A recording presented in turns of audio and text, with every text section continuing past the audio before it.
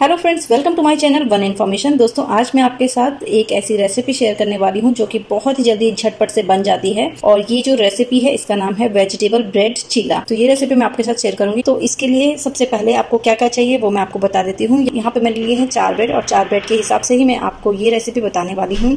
इसके साथ ही यहाँ पे वेजिटेबल्स मैंने लिए हैं। वेजिटेबल में दो प्याज मैंने लिए हैं, एक टमाटर मैंने यहाँ पे लिया है, हरी शिमला मिर्च मैंने ली है, और यहाँ पे गाजर मैंने लिया है इसके लिए ऑरेंज वाला। तो गाजर ऑप्शनल है आप चाहे तो ना भी डाल। इसकी जगह आप बीन्स भी डाल सकते हैं, मटर भी आप यूज़ कर सकते हैं। इसके साथ ही एक कटोरी दही मैंने यहाँ पे ली है और सूजी इसके लिए बहुत ज़्यादा ज़रूरी है तो सूजी मैंने यहाँ पे ली है एक कटोरी। खाने का सोडा मैं यहाँ पे यूज़ करने वाली हूँ इसके लिए। और साथ ही एक गिलास पानी मैंने यहाँ पे लिया है। तो चलिए फ्रेंड्स सीखते हैं कि किस तरीके से वेजिटेबल ब्रेड चीला बनाया जाता है। तो सबसे पहले फ्रेंड्स ये जो वेजिटेबल्स हैं, इनकी कटिंग्स अच्छे से कर लेंगे। तो इनको बारीक बारीक आपको चॉप करना है। तो फ्रेंड्स यहाँ पे देखिए, ये सारी की सारी वेजिटेबल मैंने कट कर ली है। प्याज मैंने पतले पतले काट लिए हैं। यहाँ पे गाजर मैंने काट लिया है, टमाटर मैंने छोटे छोटे पीसेज में काट लिए हैं और ये शिमला मिर्च मैंने यहाँ पे काट ली है।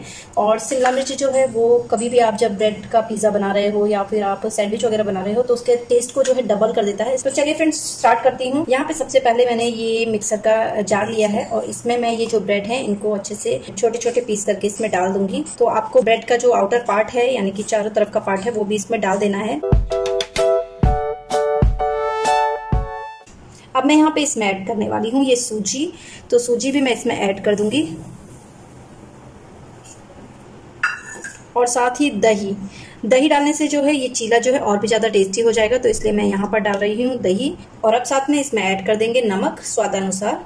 आप जितना नमक खाते हैं, उस हिसाब से आप इसमें ऐड करिए। अब इसमें थोड़ा सा पानी मैं यहाँ पे ऐड कर रही हूँ, ताकि हमारा जो ये मिक्सचर है, जो बैटर में बना रही हूँ, वो ज़्यादा गाढ़ा भी ना हो और ज़्यादा पतला भी ना हो। तो मैंने यहाँ पे छोटा गिलास पानी का लिया है तो इसको मैंने यहाँ पे कर लिया है मिक्स तो इसको अब मैं अच्छे से मिक्सी में चला लूँगी।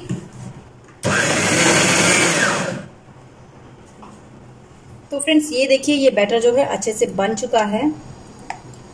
ना ज़्यादा गाढ़ा बना है और ना ही ज़्यादा पतला बना है तो ये बहुत अच्छा बैटर यहाँ पे बन गया है और मैं इसे डाल लेती हूँ इस बड़े से बोल में। तो फ्रेंड्स अब बारी आती है इसमें सारी की सारी वेजिटेबल्स डालने की। तो यहाँ पे मैंने ये जो वेजिटेबल्स ली है, मैं इस बैटर के हिसाब से इसमें वेजिटेबल डाल दूँगी। तो मैं यहाँ पर सबसे पहले डाल दूँगी शिमला मिर्च, गाजर और टमाटर मैं सारे के सारे यहाँ पे डाल रही हूँ और ये प्याज, ये सब इसमें अच्छे से मिक्स कर दें। तो फ्रेंड्स इस बैटर को जो है ऐसे ही 10 मिनट रखने के बाद जो है अब मैं इसमें मसाले डाल देती हूँ। तो क्या क्या मसाले इसमें डालने हैं, ये मैं आपको बता देती हूँ कि इसमें थोड़ा सा आप धनिया पाउडर डालिए बहुत ज़्यादा नहीं डालना है। और ये डालिए आप लाल मिर्च। थोड़ा सा गरम मसाला मैं यहाँ पे इसमें ऐड कर रही हूँ। आप चाहें तो इसमें जीरे का जो पाउडर होता है वो डाल सकते हैं, जीरा भून के डाल सकते हैं, और साथ ही आप इसमें अजवाइन भी डाल सकते हैं। तो मैं अभी इसमें अजवाइन और जीरा नहीं डाल रही हूँ, और साथ में आप इसमें हरी मिर्च भी काट के डाल सकते हैं। लेकिन मेरे यहाँ पे छोटे छोटे बच्चे हैं तो इसलिए मैं इसमें ऐसा कुछ भी नहीं डालूँगी, जिससे कि ये स्पाइसी हो जाए बहुत ज़्यादा। और अब मैं इसमें ऐड कर देती हूँ नमक। तो नमक मैंने पहले भी डाला था तो इसलिए मैं नमक बहुत ज़्यादा इसमें नहीं ऐड करने वाली हूँ। और फ्रेंड्स लास्ट में इसमें बहुत ही इंपॉर्टेंट चीज़ जो कि इसमें डाली है, वो है खाने वाला सोडा। तो मैं इसमें एक चम्मच खाने का सोडा भी डाल रही हूँ। खाने का सोडा डालने से ये जो चीला है, वो काफ़ी फ्लफी बनेगा और बहुत ज़्यादा मुलायम बनेगा तो इसलिए मैंने इसमें ऐड किया है खाने का सोडा।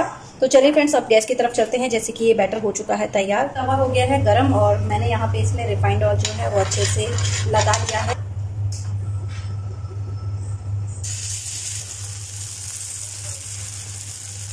इसे फ्रेंड्स अच्छे से इसमें फैला देना है।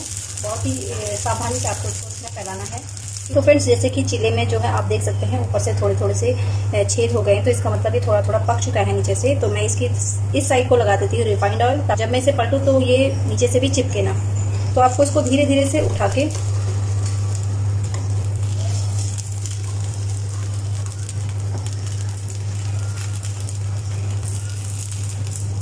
इस तरीके से आपको इसको उठा के पलट देना है। और ये देखिए फ्रेंड्स, कितना अच्छा ये चीला बना है। आप चाहें तो इसमें यहाँ पे ऑरिगेनो की जो लीव्स होती हैं, ये भी डाल सकते हैं। इसका फ्लेवर बढ़ाने के लिए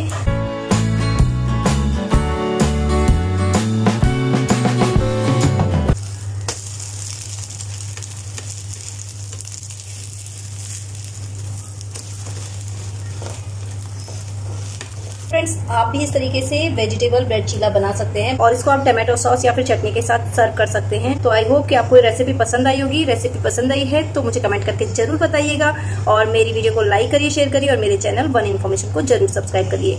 Thanks for watching this video मिलती हूँ किसी नई रेसिपी के साथ। तब तक के लिए बाय बाय